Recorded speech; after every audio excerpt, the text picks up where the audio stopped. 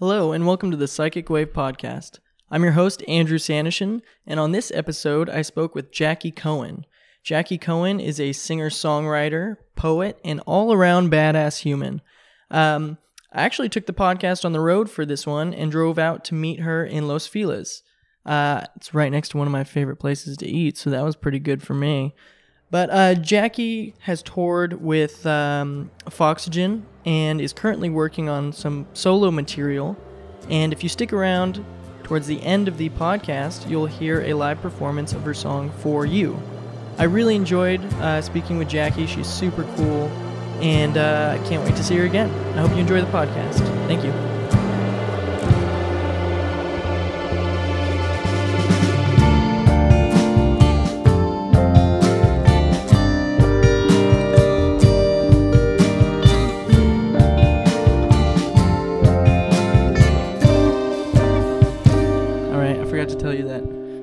Was gonna be silent for a little bit to like edit out some room noise in, in post. But welcome to the thirty sixth, thirty sixth episode of the Psychic Wave podcast, and I am with Jackie Cohen.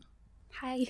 Is it it's Jackie Cohen Rado now, or is it just Jackie Um, Cohen? well, I changed my name on my on our marriage contract, right. but I haven't changed it anywhere else. Okay. So I'm not actually sure what the legalities is of it at I'm this just point. going off of what I read on your Instagram. It says Jackie Cohen Rado, I think. Yeah, I just changed it back for branding purposes. Oh, okay, okay. No, I'm just just wondering, just trying to like get your uh, intro right. Well, it's weird, you know, because it's, you know, my last name or whatever, but it's also like Rado's first name. Like we've al- we've always called Rado Rado, Oh, right, and right. I call right. him Rado, and I've like even his mom calls him Rado at this point, which Yeah. is weird because she's also Rado. Oh, Um, yeah. and so it's a badass name though. I mean, it's like our names are always really cool. yeah, it's got like a Yeah, it's solid. it's a you know authoritative.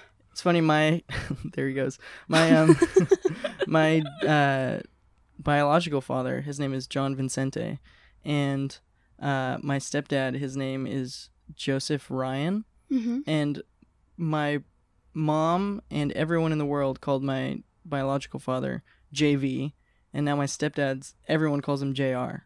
Huh. So it's like, what's up with you, You- and these J initial people, mom? Well, also just like lazy people. Why doesn't anyone just say anyone's full name? My stepdad doesn't like his name because um, his parents gave it to him for religious reasons, Joseph, Right. and he- my dad's totally not religious. right. Um, yeah, but it's nicknames are cool. Right. I've been Drew ever since. I was gonna ask you Seventh because grade. you're Andrew, but then Yeah, also Drew. I, I don't think I've fulfilled the full capability of what Andrew is supposed to be. Andrew sounds like my mom expects a lot of me, but I feel like Oh. Drew is more of a like, no, it's just Drew. So, are you someday going to transform into Andrew, or no, I think Andrew VanWyngarden, he's the the full Andrew. right? He's the fully formed version of me. That's what I like to tell people. like, okay. like I'm the the Pokemon version right before you get to be really badass. Oh right. Yeah, so he's he's already taken it. Oh man. It's okay. It's okay. We're actually the same. Not that I, I just told you that I don't get into these sort of things, but we have him and I have the same like, um, astrology signs, like He's an Aquarius too. down to like yeah. But we also have like the same moon or something. What's your moon? I have no fucking idea. It's whatever his is. Oh. so I just I just looked it up for like a really lame reason. But yeah, I am here with Jackie Cohen, maybe Rado. We don't know the legality of it. But um I had first seen you on had to be just Instagram, just probably scrolling through like stuff going on in LA. Mhm. And then I saw you played music and I was like, "Oh, her music's good. Might as well ask if she wants to come on the podcast." And so I'm here in beautiful Los Feliz, and uh, you've welcomed me into your humble abode. No, not even Mhm. humble. This is a badass fucking place. It's very cool. I Lots like of. I love toys. Toys. Yeah. Boys and their toys. There's a lot of junk. Oh, but good junk. Good junk. It is. Um, but yeah, so we'll get into uh, present day a little later on. But Okay. where did you grow up? Um, I grew up in Agoura Hills, California, which is a suburb about an hour north of here. Um, and it's a it's sort of like I always refer to it as like a gas station town because like if you didn't you know live there Mhm. you would only ever stop there to like fill up your car Oh, um, there's nothing to do there um, which was actually kind of uh, good for like the arts in a lot of ways hmm um, a lot of kids from my high school went on to do creative things Okay. Awesome. Because there was just nothing fun to do besides playing music and kind of nothing pretending you're all rock and roll and breaking the rules. yeah like maybe a few kids like longboarded Oh shit. oh shit. Actually, fun fact: uh, my high school um, was also the high school of uh, Hoobastank. Oh my god. Uh-huh. I think they like won the battle of the bands or something. I bet they fucking did. Battle of the Bands, that's just such a bad representation of like uh, music, but I think it's it's good it's a good gauge for like kids to to start realizing like music uh you know how everybody around you plays and get used to performing, but yeah, I mean it's cool. I never did anything like that. I was never really like in a band in high school. Like I did a couple of shows with, you know, Rado. Um, and by doing shows, I mean like they played a whiskey show mhm. and um, I stood on stage and looked scared Ah, and didn't do anything. Um, it my- still counts. yeah, You're up there, they're down there. yeah. So that was like that was really my only. Um, that was as far as my participation in like music. Uh, not music in gen- general. I was in like plays and choir and stuff. But Okay. in as far as being in a band goes, that's all I did in high school. So you like performing though. So you were in in choir and um and plays. Yeah, I was like a musical theater kid. I started Okay. doing it when I was like five because my sister did it, and I did everything my sister did. Oh, okay, yeah. Um, so Yeah, I have a little brother, and I don't think he likes anything that I do. Although he just asked me to dye his hair, Ooh. and uh, cause I my hair is usually purple, but it's faded out, Yeah. and um, he was like, "Can you dye my hair red?" And I was like, "Yeah, okay, I'll do it right now." Oh, that's sweet. But uh, he's like four years younger than me, and he's six foot five. It's it's daunting. wow. But um, I was always jealous of theater kids, and kind of probably an asshole to them, like in high school, because Wait, what, I- what, what kind of kid were you? a skater. Oh, okay. Yeah. and uh skater long hair like stealing people's girlfriends you know the oh, yeah. But, Every uh, it was easy when you rode a skateboard and told the teachers to fuck off but i don't know what it is but like any rebellion is like attractive to to girls in junior high for some reason right. bad boy stuff but um i wasn't even that bad i think i'd like ding dong ditch somebody somebody's house and that's like the worst thing i ever did Oh, but man. I was mean to the theater kids, I think, because I was jealous. Because I had done one acting class and I loved it. And I just was too caught up in my ego to like Oh. tell myself like, hey, maybe you should just join them. and now like all my friends are like theater kids and people who play music. Yeah. And uh You had to repress your theater bug. yeah, I, you know, it took one good acid trip and I was like, Oh oh, shit, I need to turn some shit around. Um I'm not even kidding. Like scared the shit out of me, but in a good way. Wow. in a good way. Um, so you did the theater thing and um the choir thing, Mhm. and which did you like better? Um, I don't know. I mean, uh, it was a lot of the same kids in both.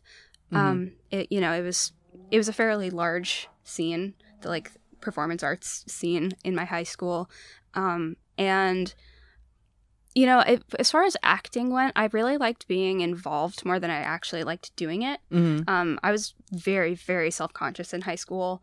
Um, I didn't really like anyone looking at me. I uh, I had braces until like junior year, Mm. and I always like laughed behind my hand, and I still Mhm. kind of do that sometimes. Oh, that's funny. Um, it's you know it's like a tick. yeah. Um, and so it was actually very like stressful and painful for me to um, get up and do things in front of people, but it's what all my Mhm. friends do, or what all my friends did, and um, my like being part of that scene was very important to me. Yeah. Um, choir, it, it was also very much like that, and it was also kind of like an exclusive thing because there were there were like tiers of choir, hmm and um, and if you were in like choir two or whatever, you were like a big dog Oh shit. on campus, Yeah. and uh, you know you got to go like sing at Carnegie Hall Oh, and, yeah. and shit like that.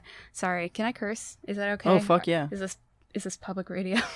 I mean, it's it's available to the public, but Um, yeah, so I don't know. I, I really liked doing it, but I always kind of liked the idea of doing it. Like I would sort of, I always like kind of fantasized about being like the lead in a in a play or something. of but when it came down to it, I was very very uncomfortable, really. um, and had a hard time like ever delivering. Mhm. Um, and for that reason, my teachers got were like really mad at me all the time. yeah, Um, because you wanted to do it, but you just you couldn't really uh live up to it. And I couldn't get over that like hump of being nervous Mhm. and you know being self conscious. Like I didn't want to make the faces, and I didn't Mm. want to, you know. You just it- wanted to run through the script without like, or the um. Are you talking about choir or both of them? Kind of. I guess I mean choir was a little different because you everyone wears the Yeah. same, you know, like black dress, and you kind of Mm-hmm. disappear into the crowd, and it's more about like.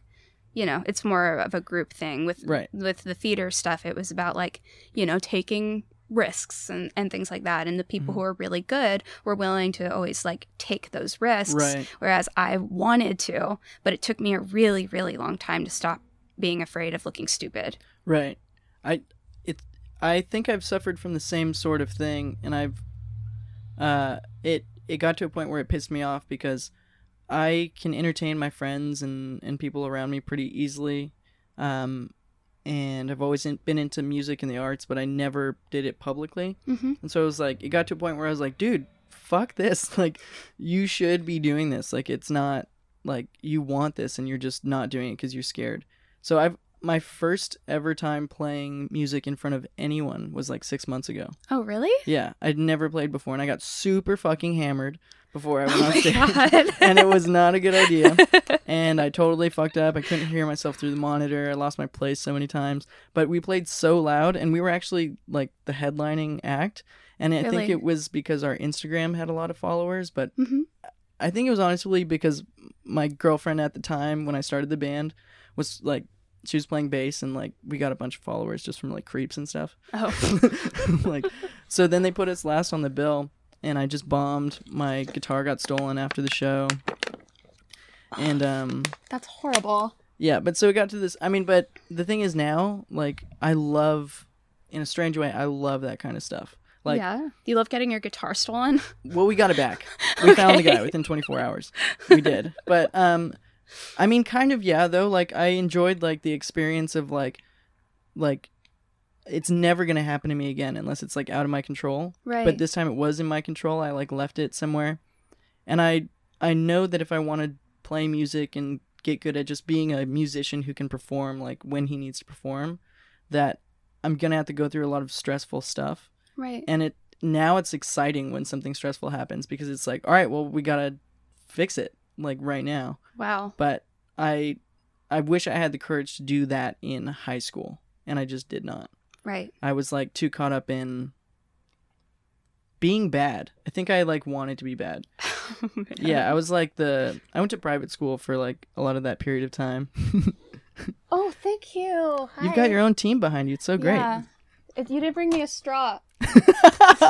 what a diva I need. Oh wait, we're supposed to be phasing out straws though. oh right I Mm, forgot about okay. that. all right Um, I'm sorry. I forgot to even ask you if you want a coffee. You want to share this with me? I am okay, thank you. Are you sure? If I have too much coffee, I will start to sweat.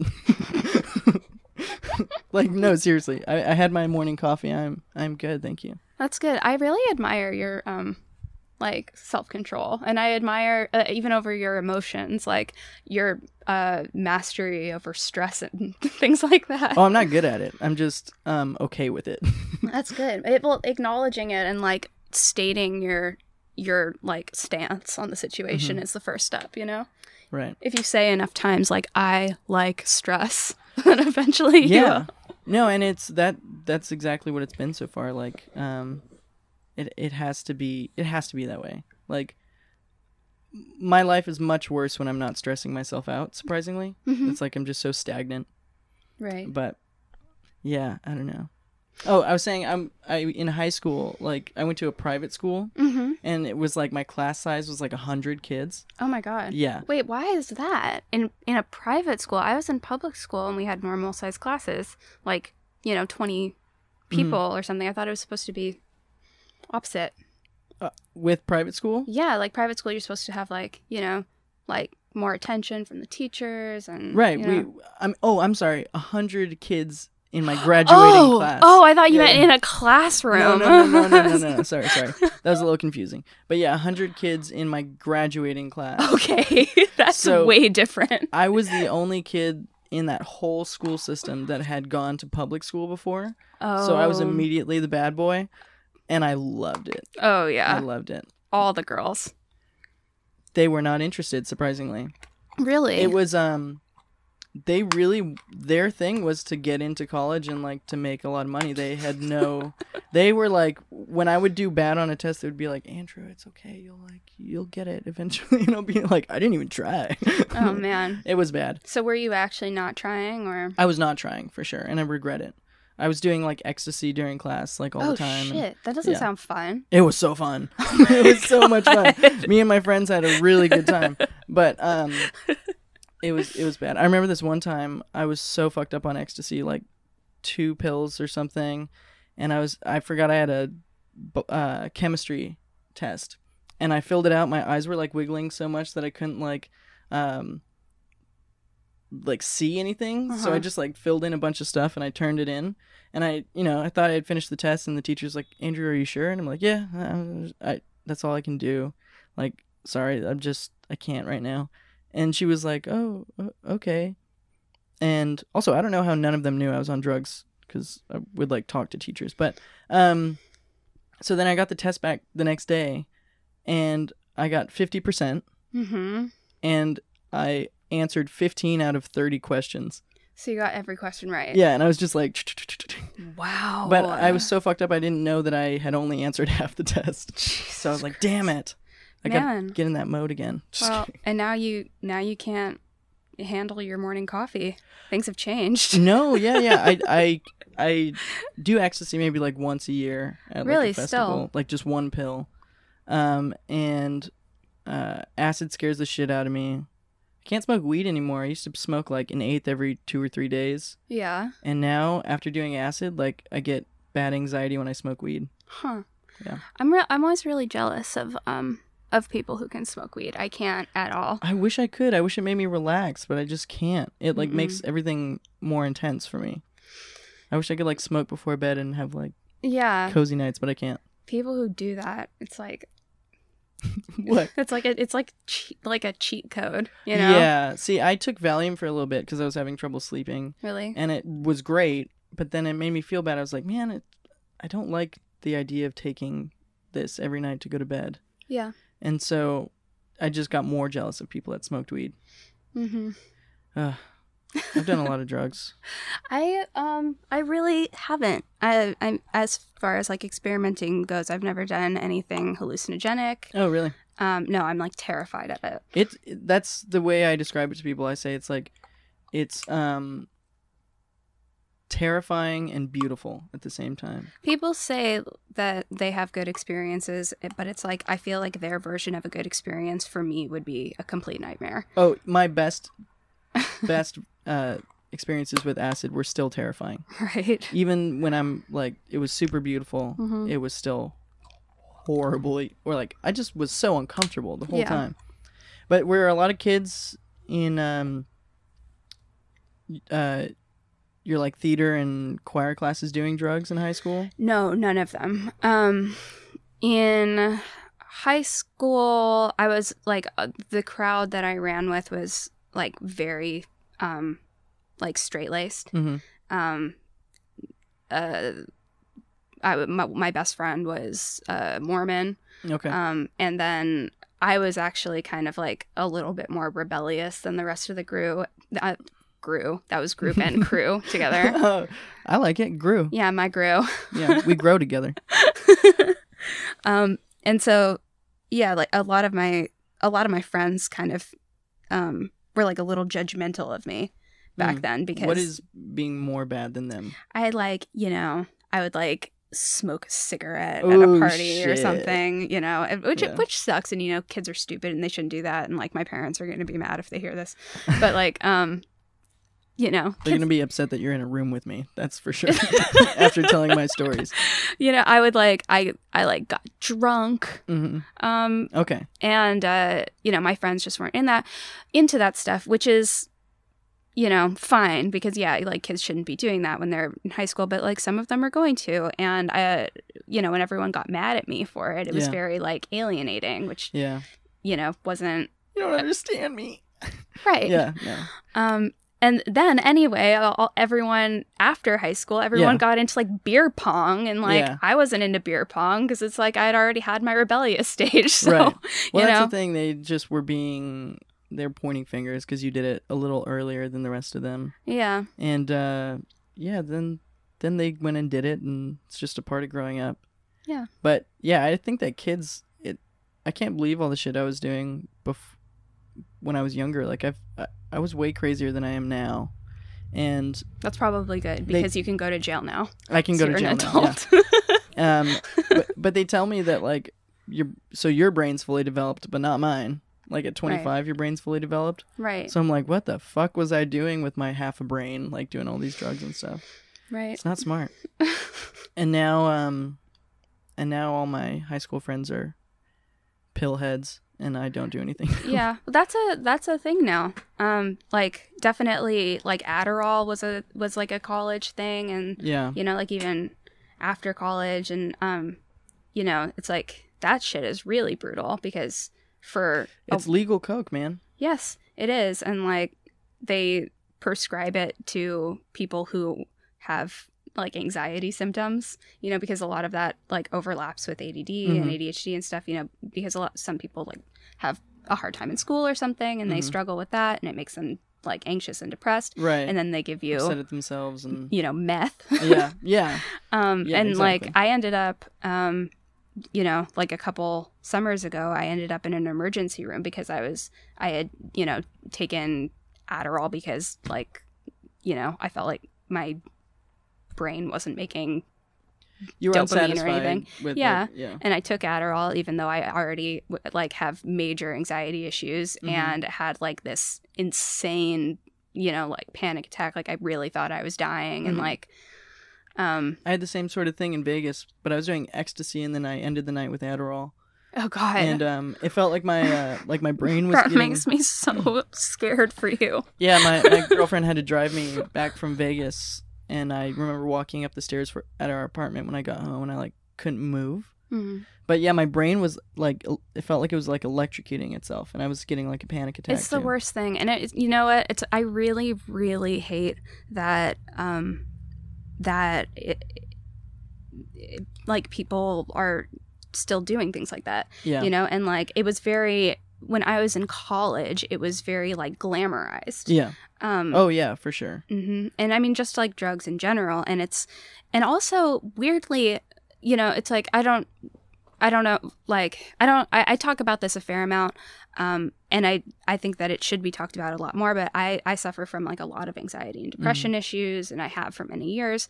Um, and even in college, like anxiety and depression was almost glamorized. Oh, totally. I you know know? exactly what you mean. It's like I was I was a student and I was an English major and I was like an intellectual or whatever Yeah. and it was like the more fucked up I got Yeah. like the more you know like the scarier I looked and the more like you know like the darker the bags under my eyes were it was like the more it was like evidence that I was actually like a living human, and it was like in like a way yeah Like there's this line from MGMT that I like. Um, if you are conscious, you must be depressed. And I think that like it's kind of mean college, yeah, but I think college kids like the more depressed they feel, I think they also feel that they're depressed for a reason because Right. there's like I know what's going on, Mhm. the world sucks sort of thing. And then if you don't have anxiety, you're not pushing yourself. So it's just this weird trap that college puts you in. right Um, did you had you used Adderall with like success before you had your panic attack? Like, I think wa- was it good for you? I think that In a way? most people have at least uh, you know some success with Adderall Right. at first. Because I really, really liked it. It helped me be really productive. But yeah, at a certain point, I also felt like um, my muscles were deteriorating. Like Yeah. my my legs felt sore always or stuff like that. And I just At Yeah. the first when you first start taking something like that, it's like it don't- it feels like a superpower Yeah, or something. yeah, like exactly. you know, suddenly all these things you were struggling with, it's now a breeze. You Mm-hmm. you know feel like you feel inspired or whatever. I actually but- couldn't um play music really with Adderall. I would rush myself too much or like the Mhm. guitar would hurt my hands. right. So I, I I eventually just stopped because I was playing music more and more. it's not a good thing and something that i realized eventually um you know uh because I, again it's one of these things where you sort of convince yourself that well it sucks and i shouldn't do it but also i'd be able to do all these things if i did. Right. at some point you have to f- realize that whatever like whatever you're doing or whatever thoughts you're having or ideas or you know whatever you're capable of when you take it you're already capable of those things. Hmm and it's it's a Right. you know it's like a, an illusion I think You know? we I completely agree and I think we get upset that we can't do everything, mm-hmm. but I think the thing that people need to realize is that you're not going to be able to do everything. You should do the important things. right And you're going to be unsatisfied anyway cuz you're a human. You're not going to be able to do everything you want. yeah But if you do the important things, you'll still feel better.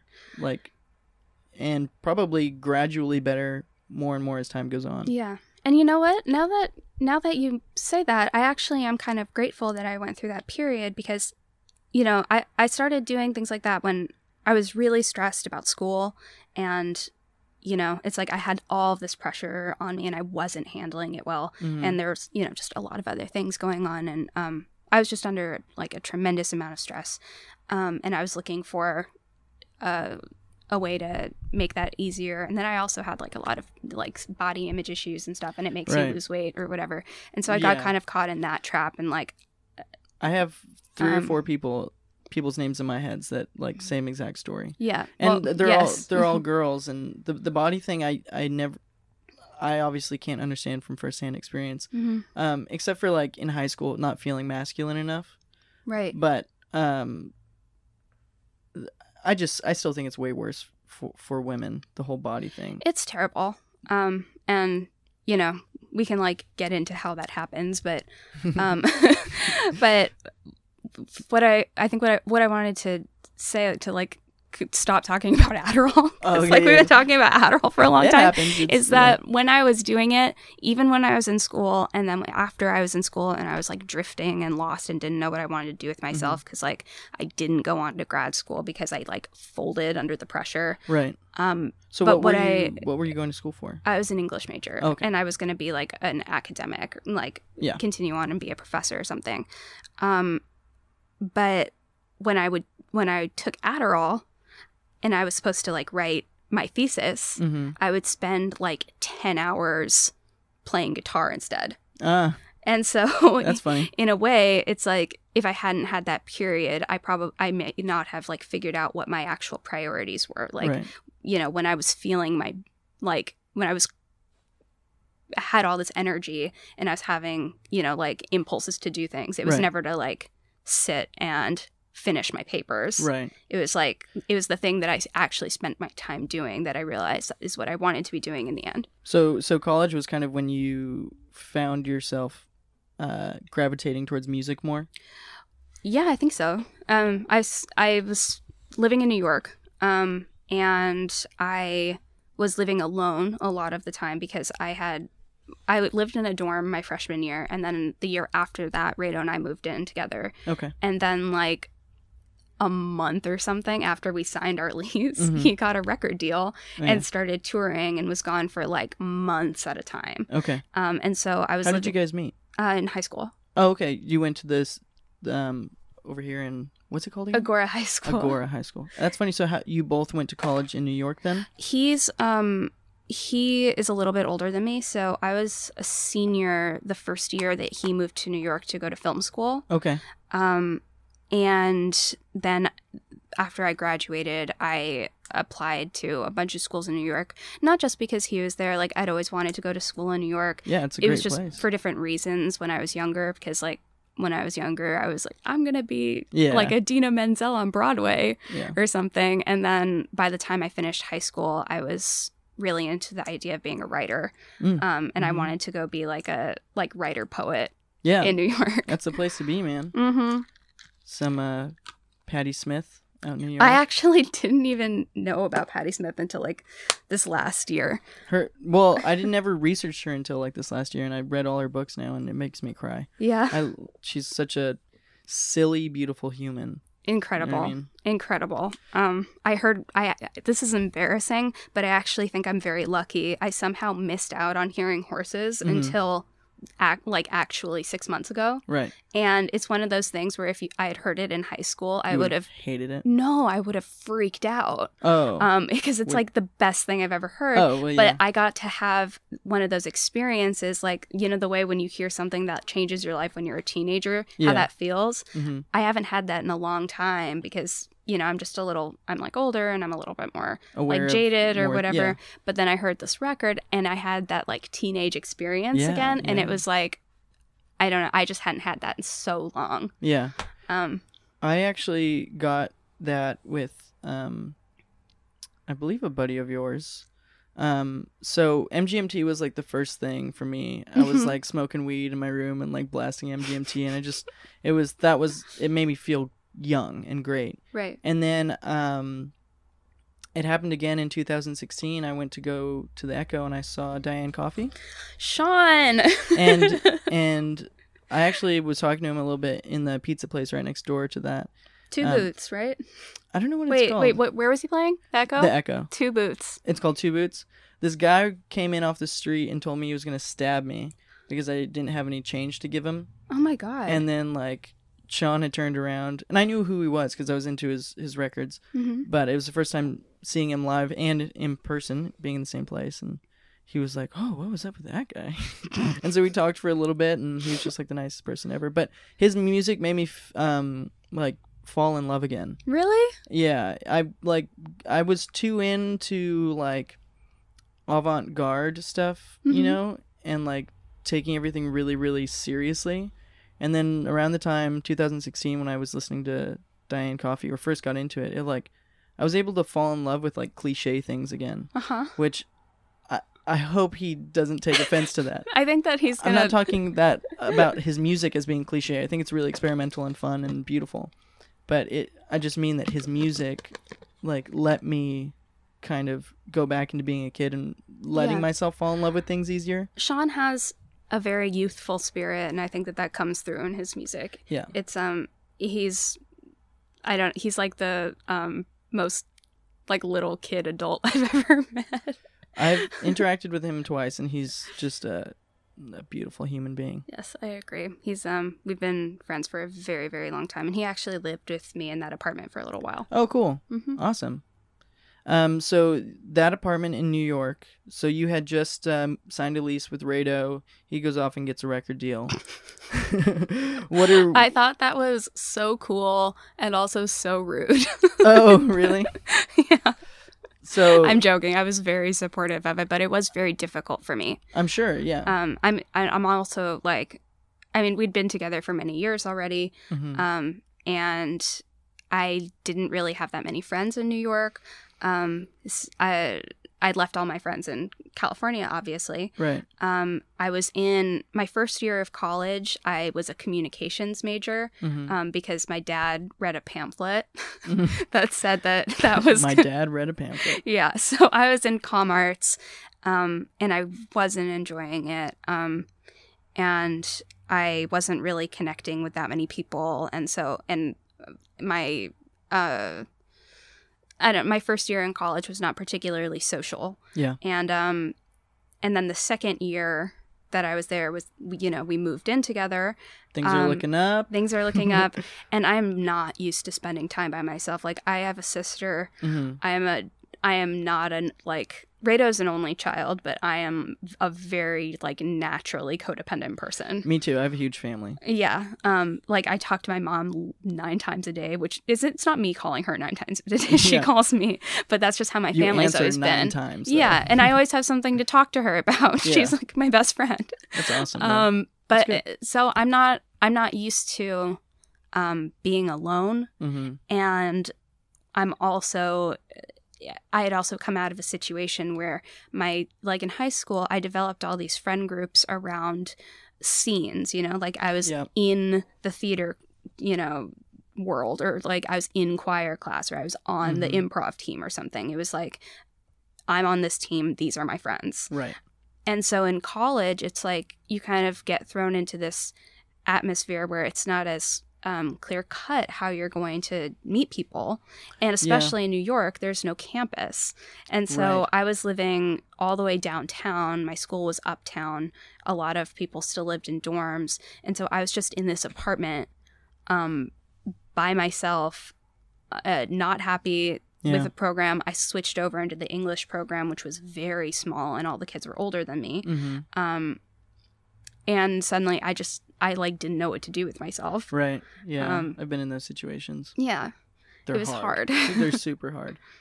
So, um, a little bit of backstory. So, what college was this? Marymount Mary, Marymount Manhattan College. Marymount Manhattan, and um, I'm assuming people know because I know Foxygen, and I'm assuming that's the record deal that Rado Mhm. got. Yeah. Yeah, but uh, if whoever's listening doesn't know what the fuck we're talking about, uh, Rado's in a band called Foxygen, very great band, and uh, that's the record deal we're talking about. hmm So that was his that that was for uh was that for Take the Kids Off Broadway or was that That yeah, that record was already made and they released it. okay. Okay. So then he's he's touring that record or was or a different one? I mean, it was always sort of they were always at, like as a band they were always on to the next thing Okay, whatever they were doing and so Yeah. they've never until the last tour that we did where we um we only played hang their newest record all Right. the way through Mhm. but I mean, we played a couple other songs like the hits Right. um as well but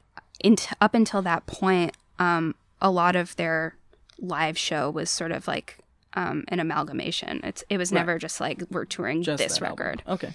So you're in the apartment, you don't know what the fuck to do with yourself because being lonely is hard and not fun. and I was so far from my family and everything. It's just Right. a it was like a shit show. So what happens next? Um, like, what do you mean? Like what you what did you end up doing with yourself or what like moved your story on? I for a couple years because I moved into the English program because um I took a lit theory class as an elective Mhm. and um and I was really good at it mm-hmm. and my professor like pulled me aside and was like I like would really like to encourage you to switch into the program Mm-hmm. So I got like scouted, sort of, um, and I was very flattered by that, as I was looking for some kind of validation somewhere. Yeah, yeah. and um, sure. and I also loved it. You know, it's uh, I was I was always kind of like I had writerly ambitions. Yeah. And, you know, I had the reason I decided to go to college was because my English teacher in high school had told me that um, that I should and Yeah. that he thought I would be a writer. And so I thought about it and I switched into the program. And then for a couple of years, I like threw myself into that really, really hard. Like, Mhm. um, like my whole identity was wrapped around being a legit writer. Like yeah like a writer of being a being a like literary theory student Okay. um that was kind of that was my thing that's where i got really in- invested and really interested was like the you know the theoretical studies Right. um which is crazy and endless. and endless and Yeah. like i spent my entire senior year writing like a 30 page paper on metaphors Yep. um and yep. like Sounds about right. I mean, I really got lost in that shit. Um, I love I mean I love stuff like that, but mhm. um part of me always wanted to be a writer as well, but I Mhm. just I I don't know if I could take those steps to to you know write a 30 page paper about metaphors. That sounds intense. I it it was very intense. Did you love it when you were doing it though or was this Oh, I like- loved it. Oh, okay. Good. I loved it, but it was like painful. yeah. You know, it, I mean, again, it's I, the reason why I didn't pursue it. You know, beyond you know, just having like a nervous breakdown hmm was that as much as I liked doing it, and I really did, and my whole, it was like really my whole identity, it wasn't good for me, you know. And at some point, I figured I had to like decide: do I want to continue doing things because I like them and I'm good at it, but it like undoes me, hmm or do I need to find somewhere else to put myself? It's a hard question for what? Were you 21, 22? Yeah. Fuck. Yeah, I I usually answer those questions wrong when I'm Right. asking. well, I did for a long time, which is, you know, why I started taking Adderall. Yeah, oh, okay, yep. Yeah. because I mean, I was just really, really miserable, and I was trying to fight that back in any way that I could. yeah. And again, it's like, I mean, not any way that I could because I kept going into like my school nurse or whatever with, you know, just completely falling apart, like not sleeping for a week. You know, Mhm. I was like, I'd go in like convinced that I had like a throat infection or Mhm. something and that I was like very, very sick. And I'd go in and they'd make me fill out like a suicide, you know, like, I will not. yeah, or one of those like checklists where they decide Oh. whether or not you're a high risk, Oh, and then they would send me to the counselor. what is that? I don't. I've never. It's like a, it's like a, um, like a questionnaire, Uh huh. and it asks you things like, um, you know, eh, I, I, I don't actually remember if it was like a like strongly disagree to strongly agree format or something, but it asks you a bunch of questions about, you know, like your Yeah. state of mind, basically, and That feels hard to answer honestly. nobody ever does. Yeah. So I'm like, they they probably just like if you put like uh, slightly agree, they're like okay, they disagree. yeah, like what are you supposed to do? Like one of the questions is like, do you ever have like suicidal ideation? And I'm like, well, I can imagine it. Yeah, like- like mildly agree. like, um, like if I got hit by a car tomorrow, I wouldn't have to pay my taxes. Hmm. right. But yeah. Um. So, yeah, I was having a hard time, and it was taking a an extreme like um mental and physical toll on me. mhm. Um. And like I'd had a I'd had a counselor like prescribe me antidepressants at one point, and I was still I didn't know counselors could do that. I, I, I don't know. It was like a maybe a school a school psychiatrist. Yeah, crazy. Um, and I didn't take them because I didn't want to be on antidepressants, which is stupid. And I am on them now, Yeah. and I'm very pro uh, antidepressant if you need them. right. um, Yeah, but I I know that that feeling. I've I've had it in the past where I'm like, I can help myself. mhm, I will fix it myself. mhm. I'm still kind of in that, but uh, I actually have helped myself because I've changed my drug use Right. to to almost none, Right. which makes my uh, sanity much better. I uh, yeah. But um, so you get prescribed all this stuff, but you're not taking it. I didn't want to. I was just like, it's like I don't want to take your drugs, which Yeah. is No, I get what you're stupid saying. I- stigma. I, understand that for sure. It's like Mhm.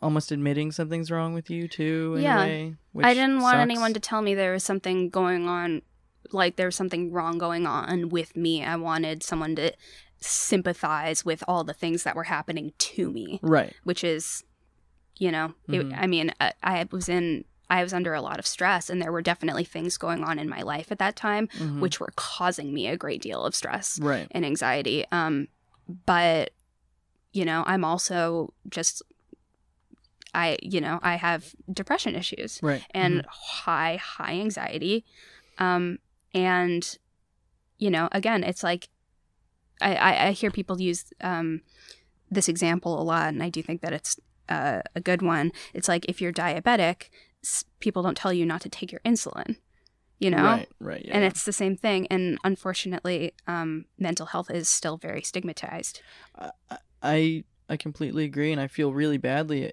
about something in the past because. Oh shit! No, I can't say this one. on. Um, I will tell you after. okay No, I can say this. So I found out that somebody very close to me was was taking antidepressants, and I Mhm. was young and naive, and I'll blame it on that. But it's wrong. I'm telling you, this is wrong.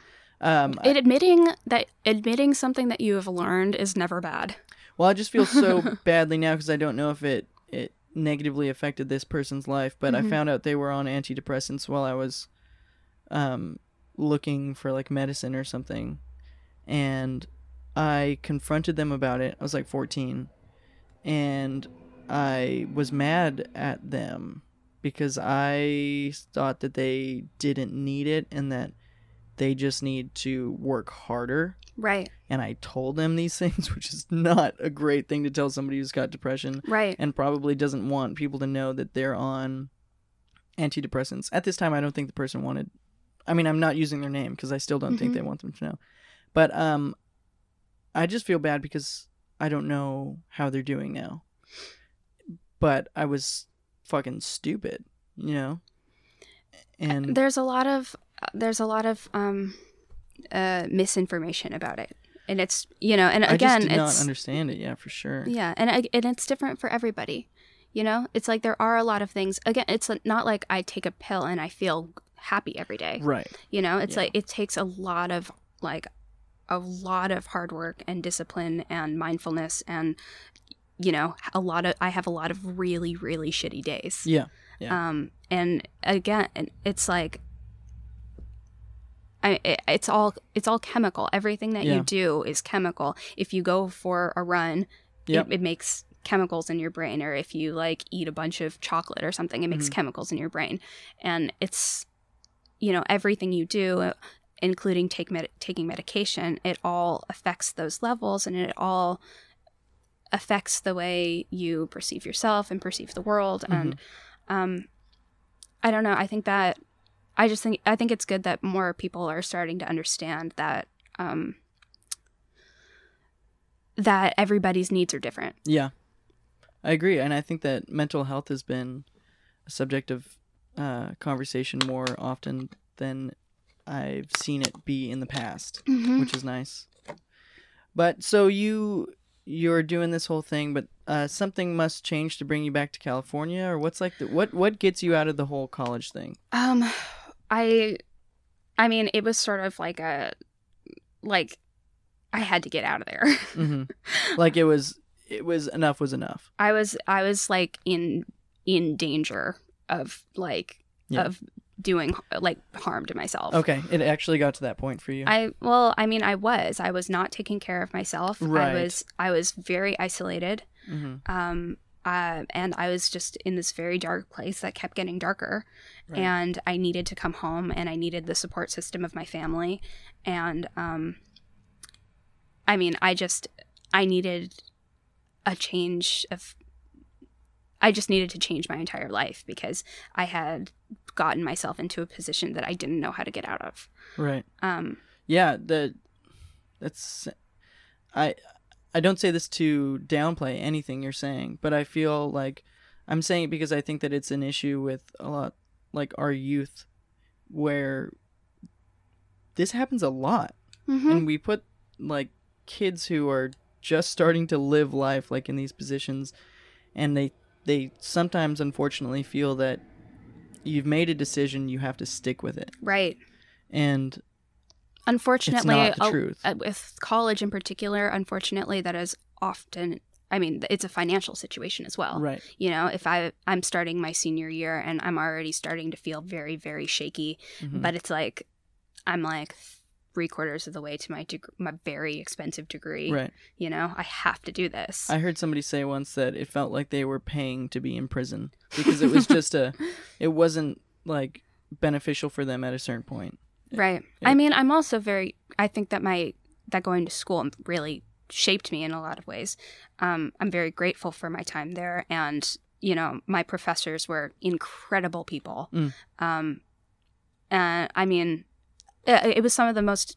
It, it those it was the most important time in my life in a lot of ways. Yeah. Um. It's and it's sad to me that I couldn't figure out a way to make it through more gracefully.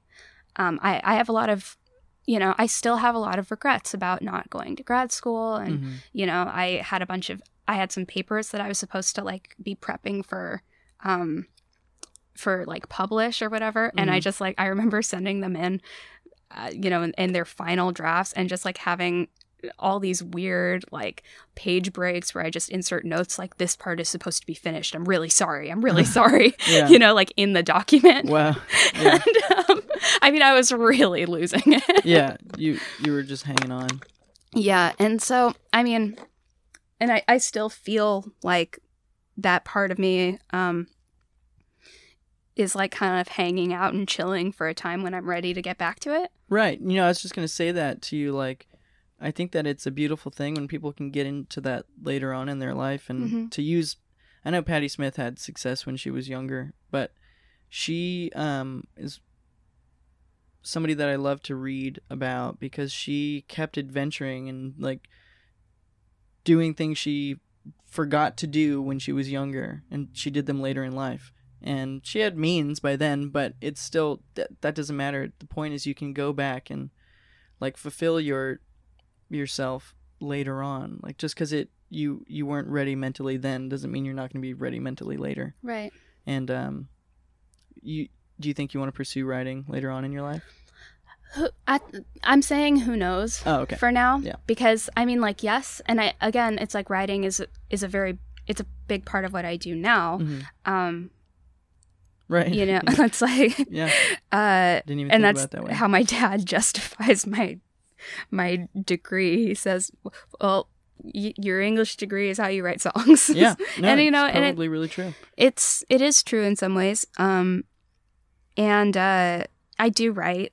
Um, I would assume that your your music has more um, of a storyline, or you know, than than maybe most people who write songs because of your English de- degree. You're probably more thoughtful about intent and um, like what you want to say. Than, Maybe. than maybe most people. I don't know, but art's weird. yeah, art art is who knows. You could like say one word in a song. And I don't are like, claim to be more deep." anything than anybody.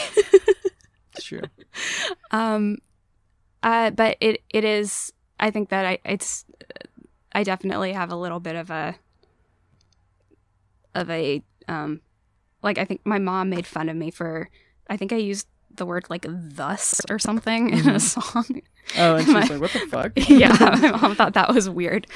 Um, but yeah, it's uh, I was when I was in school, I was also like a I was a creative writing minor, and Mhm. I was um, like very involved in the like poetry scene over there, hmm and um, Have you published any of your poetry? no, Should. no, well. I the thing about that is that when I was over there, it's like the poet. It, it when you present yourself as being a poet, or like you publish a poem or something, or you write a poem or workshop poem or something like that, people have a really really hard time with like narrative distance or something, and so Mhm. and especially with poetry, which you know. Some of my favorite poets are um, confessional poets, Mhm. and I always felt like a little too like under the microscope or something Mm, when I did mhm. that. And so when I started doing what I was doing there, but now I'm writing songs, it's like I feel like I'm not it's not as like close in Right. a way. And it's it's far enough away from me that I can like sing a song and have like have fun when I do it Right. instead of feeling like You're I'm just- exposing myself. You're performing your poetry in a way that allows, um, yeah, some some distance between the words and yourself, right. um, but while still being revealing and meaning something to you. Yeah. I mean, maybe I'd be writing the same thing if it was a if it was a poem or a song, Right. maybe. And I mean, of course, you know, the formats are different, and. But um, but when you play a song, it's like people don't, you know, it's like uh, if I if I write a song and it's sort of like a like a sad breakup song or something, people don't assume that I'm Right. like in the middle of like a breakup. it's just a song. it's yeah. a, it's a song that I wrote. Yeah. It's funny, I performed two nights ago at Lot 1 in LA, and I told you before, but I haven't mentioned this on my podcast yet, that it was my first time just me and guitar.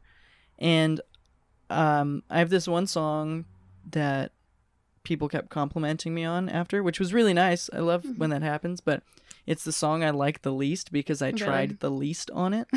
my friend she writes music that is so confessional to the point where it's like it's not hiding anything and it's like just simple like you said this and I felt this way, you know. And I was like, fuck it, I'm going to write a song like that. And so I tried to and now like that's a song that people point out to me and I'm like, I hate that song. Really? I like because it I bet it's really good. it's well, here's the thing, it's like I think it's the reason why like pop music is pop music. It's Mhm. because it's uni or it's more universally um people can connect with it easier yeah. like a wider group of people can connect with music pop music and i think a wider group of people feel the way that i i sang in the song but for Right. me it's so unpoetic it's just me being like it's not poetic like to me at all but but it's yeah, just, but maybe it is. Maybe it is in that way. may- whatever art is like so you can We'll say- listen to it and we'll talk about it. Okay, okay, okay. we'll workshop. oh my gosh please no that was so annoying. I'm sorry. no, no, no, no, no, no, no, no. It's funny. It's more funny than anything. But so you're um did you come back home? Did you move back home Yeah. for I um, moved home the week I graduated. Oh, okay. You're like fuck this place. Uh huh. Yeah. I was out. Well, you graduated, so you like you you must feel some pride in that. Well, yeah. I I mean, I definitely and I graduated like I sound like I was like failing. I did really well. Oh, okay. Cool. Um, I I got really good grades. It's just that I didn't sleep for an entire school year. you um, succeeded at one thing but were failing at taking care of yourself. Yeah, really badly. Okay. Um, and like all my teachers were really scared for me, and like they kept like It's not funny. I'm so sorry. no, it is funny at this point. Like I'm thinking back, and I just like I really hope if there's anything that I could ever say to help anyone is like don't do that.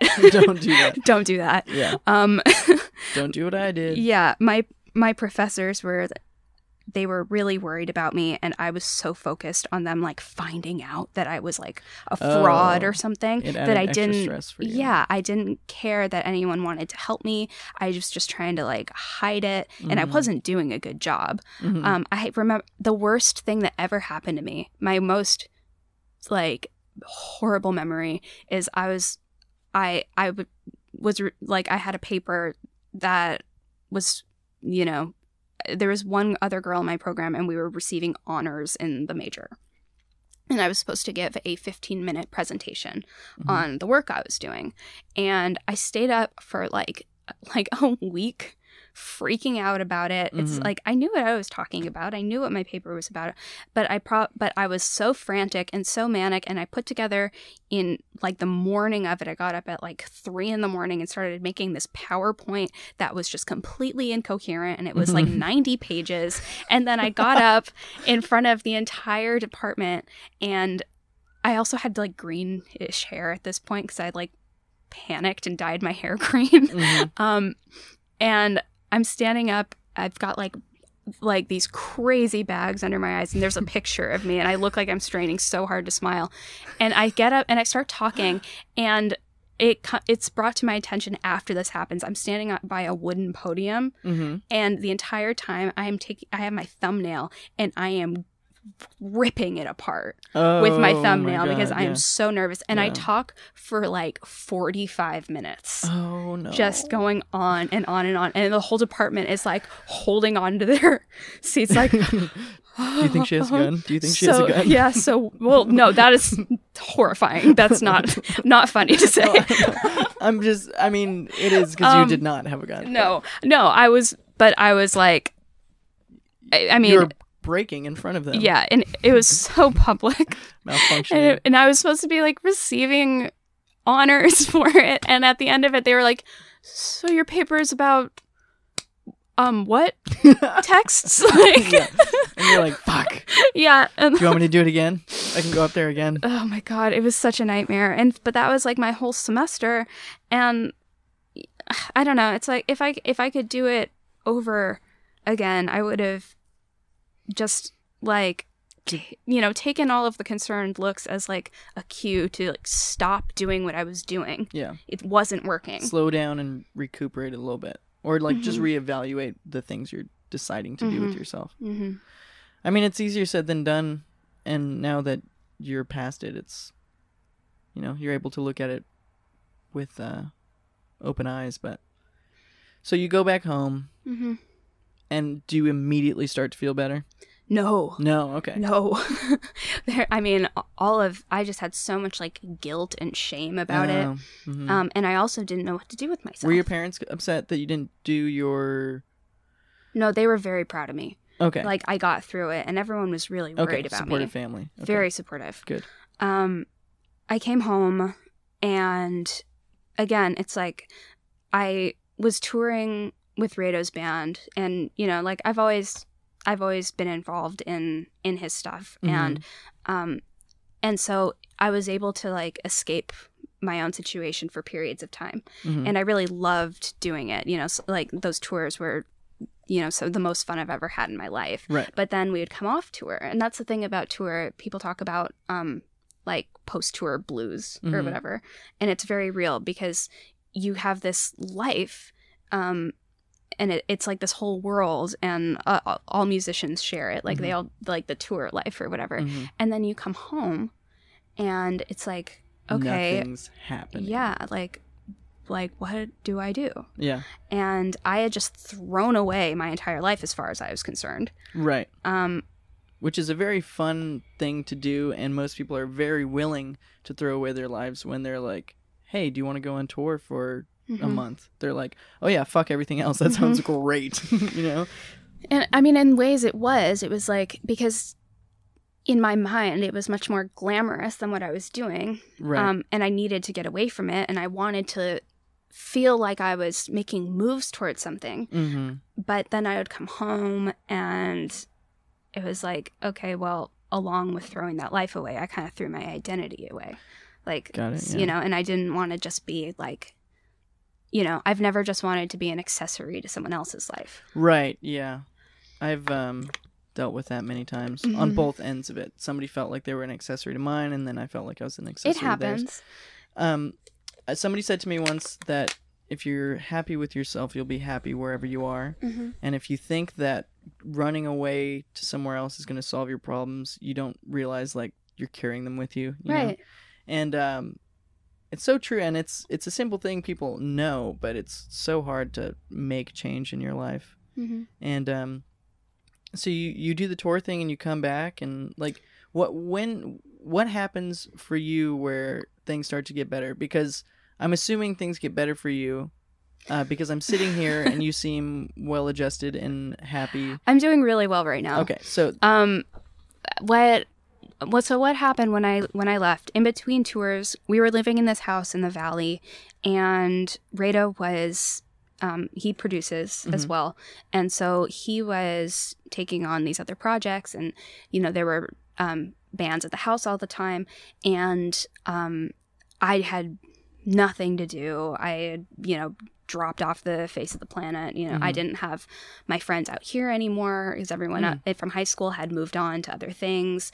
Um, I mean, there's still some people out here, and um, I reconnected with a lot of people, but for the most part, like my life before college was obliterated, and my life in college was obliterated. yeah, Um, and I was alone a lot, and I, and like Rado was there, but he was like out in the garage studio, Right. like working on records.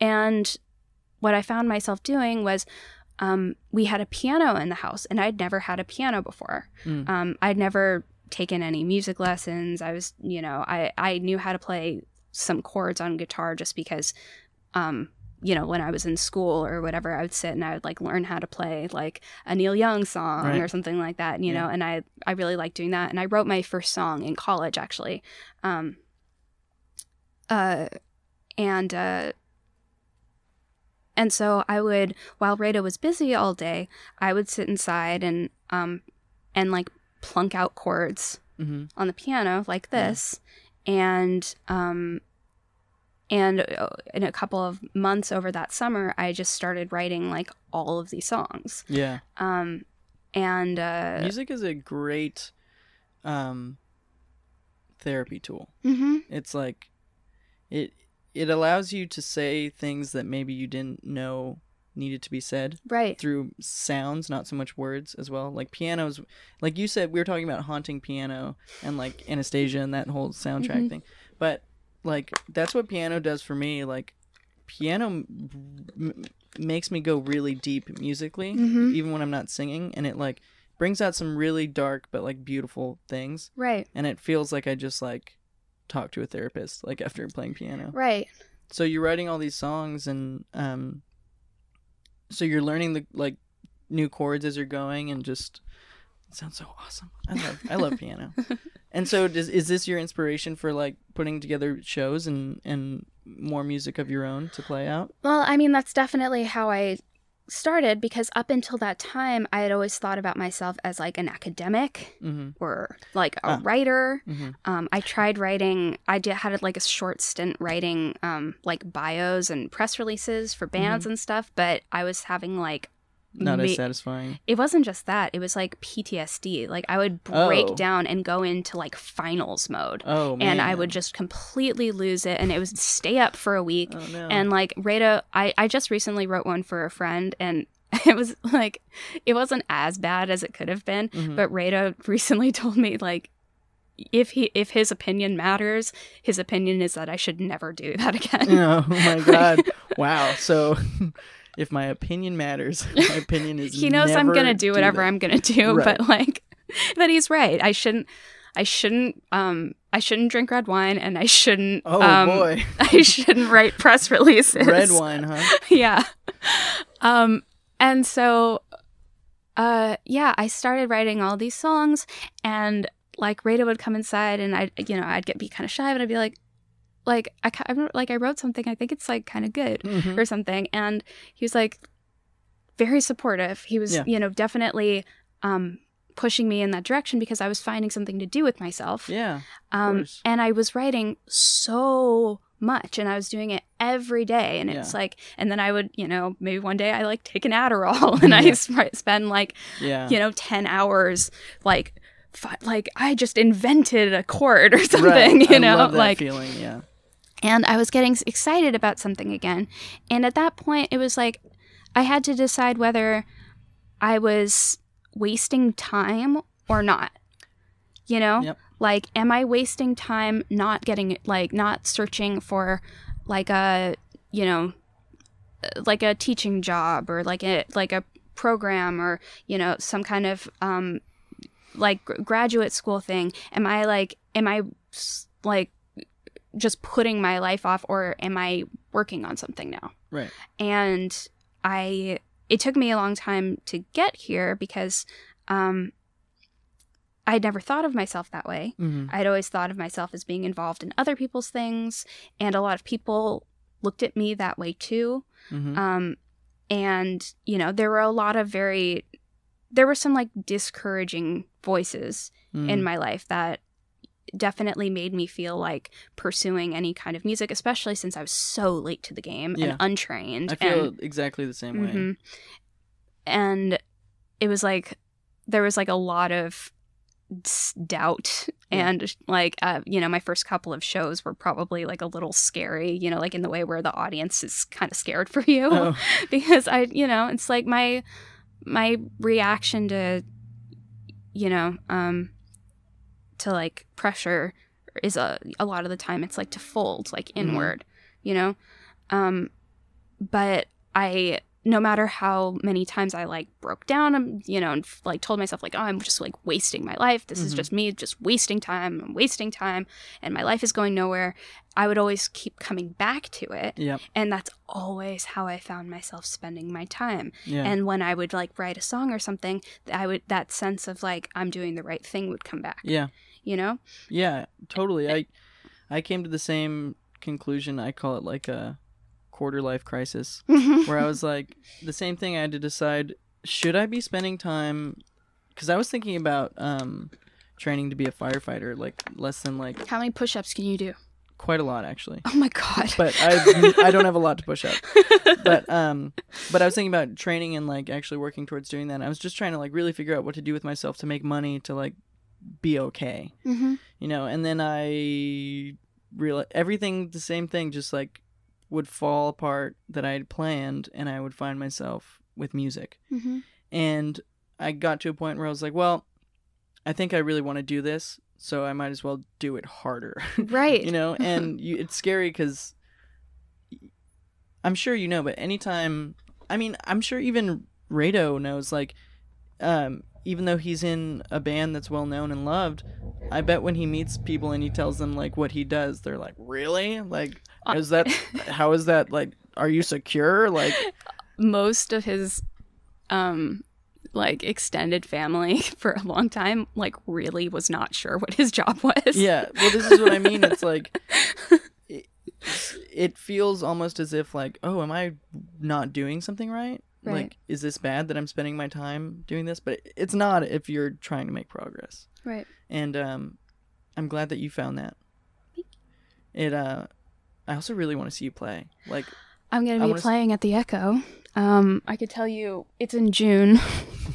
I think it's like June 21st or 22nd. okay, Um, so I'm gonna be playing in LA again very soon, awesome. and I'm going to send you a personal invite. Oh, great.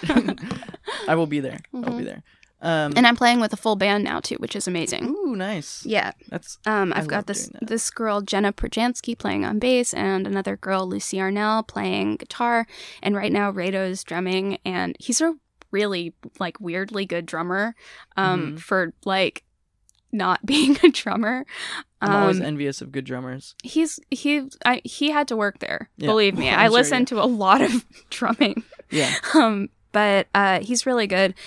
Um, and our show is like really fun right now, which is exciting because again, I've played a lot of shows like by myself, Mhm. or um, you know, one time Rado and I did this really funny show where we both played acoustic guitar, Mm, and um, cool. you know, that was it. But this is my favorite iteration of the band for sure. Awesome.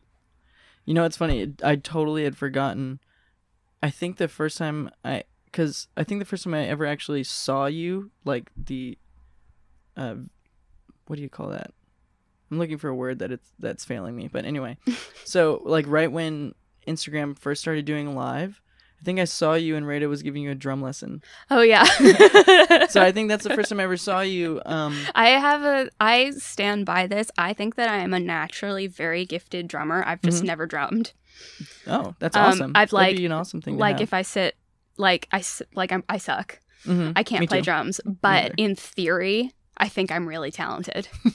Okay. I don't understand. I don't understand how there's any theory to it's bring that- complicated. Okay, okay.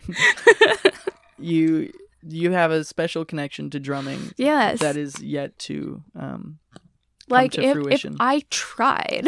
if I yeah. Oh my god, that's how I feel with everything. And then it Mhm. makes me feel vain. But um yeah, so first of all, I want to say thanks for letting me do this and bring my little studio to your big studio. yeah, thanks for traveling. Yeah, I love traveling. I I was so jealous that my friend's band came into town and they're on tour right now. I was like, I'm gonna follow you up to Isla Vista, and then I was like, oh, I can't. I gotta do this podcast in the morning. but like, I was thinking, I was trying to plan it out. I was like, I can make it back. I can make it back. Right. but um, I love staying active. Like I have to, and um, so far I've only met wonderful people like yourself, and now all my friends like just talk about music and stuff, and I've kind of found a place that's more comfortable uh, through doing the podcast. But yeah, thank you for like agreeing to do it. It's such an awkward thing. I always imagine like what that's like. Like somebody gets a message from me and they're like, "Hey, want to talk for an hour?" it's like, I mean, that's what I'm asking, and it's, what, can I set up a camera in front of your face for an hour? And um, thanks for being one of the brave ones. Thank you for having me. This is very enjoyable. Long form interviews are better. Did we do like did we do it right? What do you mean? I what do you mean? I Yeah. don't know. Yeah, I I mean, it was. It's all about you. That's the that's the thing. So if unless you're lying to me about no, everything- I'm not. I'm just, you know, it's just like, did we talk about the right anything anyone wants to listen to? See, that's the thing is like I I don't know and um I don't know what people want to hear, but I I try to form the conversation towards things that I would want to hear. Mm-hmm. And um I uh You have a very soothing voice, by the way. thank you. It's very smooth. Thank you. That's awesome because this is what I do. so I'm- Right. I hope it I hope it works out. But um yeah, I don't know what people want to hear, but when I reached out to you, I um and I think this might be something interesting to talk about Mhm. real quick. It's like um actually I don't know if you need to go anywhere or anything. Mm-mm. Okay, then I won't worry about. It. I told my mom I'd come over later this afternoon and help her throw her clothes away. Okay. You are a great daughter. I would tell my mom I would give an excuse, but I'm a bad son. Um, but so when I first had messaged you, I had no idea that you were mar- married to Rado. hmm And then when I found that out, it was after you agreed to do the podcast, and I felt very strongly about n- making sure that you understood that I wasn't um, making sure that you knew that I wanted to talk to you. hmm You know what I mean? And do you get I don't know what to call them, not creeps, but maybe a lot of people with like Networkers? ill, yeah, networkers. do you get that a lot? Um, yes, and I mean, yeah, I think, like, yeah, there's always going to be people that are more interested in who you're connected to than who you are. Right. Um, and, uh, you know, again, that's always, it's something that I, um, like understand. And also, it's like, I love being associated with him. And like, you know, we work on a Sure. lot of my, on my music together and he's like my favorite partner. Yeah. Um, but of course you're married yeah, him. he's my, you know, it's, uh, but like, it's important to me that people know that I do my own things. Like Right. for a long time, whenever I would tell someone like, "Oh, I'm playing a show," or "I made an album," or something like that, Mhm. the first thing people want to ask me is, "So, like, Rado writes your songs and you sing Really? them?" Or They say that? yeah, That's fucking rude. um, yeah, it really fucking is. That's and it's like, no, There's no way you could be telling this to friends and that's how they're reacting. Um, not my f- not my friends so much.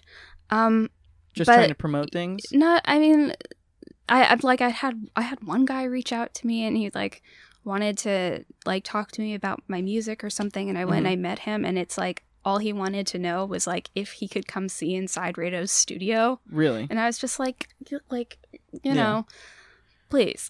you could like tell instantly that this guy was about something else. Yeah, and I and the th- most people are not. Most people that I have that I have met, like if I talk to someone at a show or something, Mhm. people who are still who are like going out to see live music and seeing these shows are like nice, cool people. I'm glad And- that's the experience you've had. Really? I have not had that experience with this podcast, which blows my mind because it is not a very big podcast and I've met some nefarious people. really? Is that a word? Yes. Okay. Yes, it is. I was like, I've never used that I mean, word. it's usually I think it's usually followed by activity, ne- nefarious activity. But you Hmm. know what? A person can probably be nefarious. I'm not. I just made it a thing. I don't know. Um, So what's up with this guy that you met? I don't even remember what his name was. Uh, well, I, Um, oh, I'm not trying to like out him. Yeah. Oh, yeah. No. Um. No. Of course not. But it, it's just like it was just such a random thing. and he Um, was really pushing the fact that he wanted to come. It was just very clear as soon as I met him that he did not think that I was that I like did anything, he and I he was seriously and, as a no, and he wasn't interested in talking to me or you know, and so bummer. again and i have had experiences like that i've had people sort of um you know like talk to me as if i expect some kind of like nepotism or something like that like i like i expect that to be my experience Mm. and like it's very I don't even know what that's Off-putting. like. well it's you know it's just it's a bizarre experience when you know you're it when you're very closely connect- connected to someone who is well known hmm um, and I have been very adamant so far about um, making sure that if someone is wants to work with me, that they want to work with me. Yeah, Um, exact. That's exactly my point. Is that mhm. I I'm around enough musicians and, and enough good people to know like how to be in certain situations. Mhm. It's not it's not hard for me to understand situations. I'm pretty good at reading stuff. Um, so when I found out when you guys were connected, um, and let me be clear, like I have all of Foxygen's records. Like uh, they're ba- Me too, man. they're they're, They're band- my favorite records. they're a band that, that means a lot to me. Um, it, they joined me for a lot of the most fun experiences of my life, but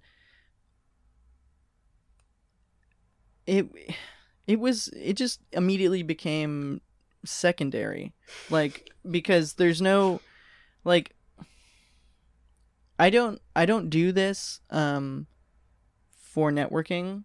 Like I first did it to maybe like play more shows and get people to know more like hey i've got a band i'm doing this thing like but i genuinely could talk to people for 23 out of 24 hours of the day. Like i just love people most people.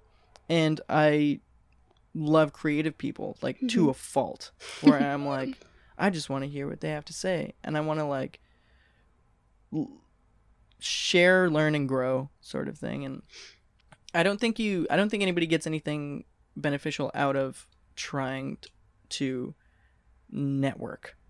I don't think you get like. I don't think at the end of the day or the end of this person's life Mhm. they're gonna like be satisfied. I just don't believe that. I think I mean unfortunately it's sort of it's like a requirement in in any professional field like you have to meet people you have to make connections or whatever but I think you know and if, again it's like I cannot overemphasize overemphasize how important my like community like the music community that I am in hmm is to me like I feel the same way, and It's- I mean, the people that I know who are in music are my favorite musicians. Um, they have inc- like incredible work ethic. that's. hmm You know, it's like it's very inspiring to me to watch someone like go after it. Right. Um, and also, it's I mean, it's uh, they're huge influences, and you know, the people that I know are the people that I work with, and um, Well, let me just say that I, um, the reason I re- reach out to you, the reason why I reach out to anybody to do the podcast is because I see that person working, creating something, being out there, and like, I feel, and I hope that you feel this too, that you are part of that community, not just like, like we were talking before, an accessory to it. Thank you. like you are mm-hmm. Doing this stuff you are just accepting to go on a random dude's podcast and like talk about your music and your life and share like the creative side of you like as long as people are doing something i think it it You know what's something that I very recently learned? It took me forever to get here. It's like so, it just so many years to get here.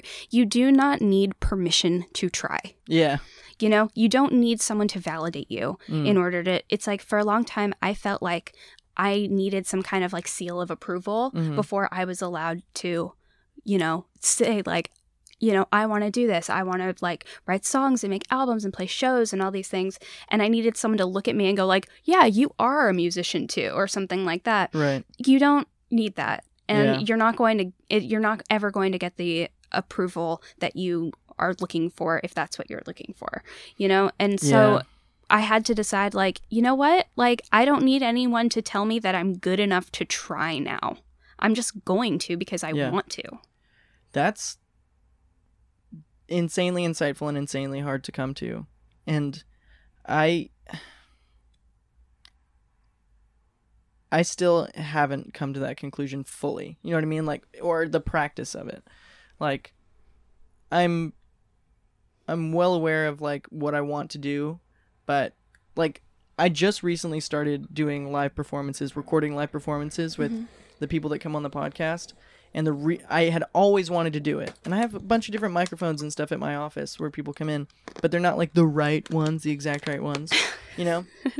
and so then this band comes in, we get all drunk, and they're like, "Hey, let's do a live performance." And I'm like, "Okay."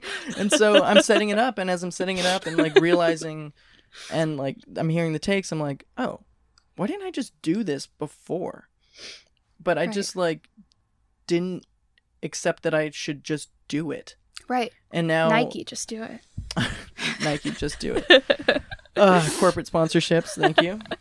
I do need new Nikes, by the way. I need new shoes in general. All of my shoes are on their way out. Really? I think I'm living in zombie shoes. They've died a long time ago, and I'm still shoving my foot in them. But yeah. Well, I'm happy that you are happy. I'm working on it. It's a work in progress. Yeah. Well, I'm happy that you're working on it. You seem um, well adjusted. I've met some crazy people, and um, you don't seem like one of the crazy ones. Oh, thank you. And um, yeah, again, thanks for having me here and talking with me and being open and honest about so many things that uh, I wish more people were open and honest about. And um, yeah, is there anything else you want to say before I wrap this up? I'm tired. All right, we are tired. Well, thanks so much for coming on the podcast. Shake my sweaty hand, my mic hand, and um, yeah, thanks again. Thanks. I don't even know how to end these, but yeah, thanks. You say bye. Bye. All right, and up next we have Jackie Cohen performing a live version of her song For You. Thank you.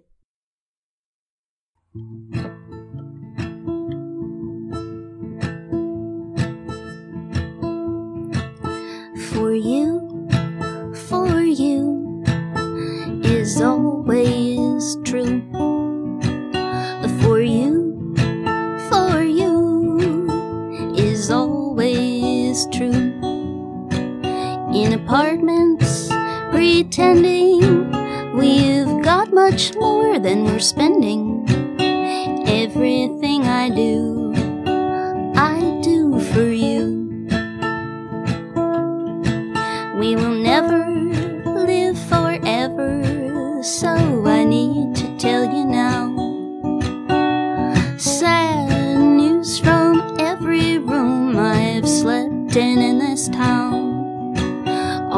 Things gleaming and clean will wear out and turn green. If I must turn to, I'll turn for